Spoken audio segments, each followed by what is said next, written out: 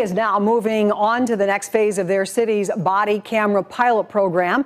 For 45 days, officers tested out three different body cameras, and now officers are looking at the data. Major Kendale Adams says about 40% of the officers said they enjoyed and appreciated the body cameras.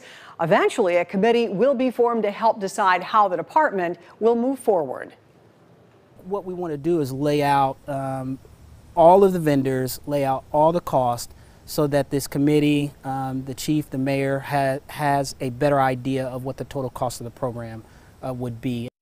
Well, there is still a survey available if people want to weigh in on IMPD using body cameras. That survey is attached to this story on CBS4Indy.com.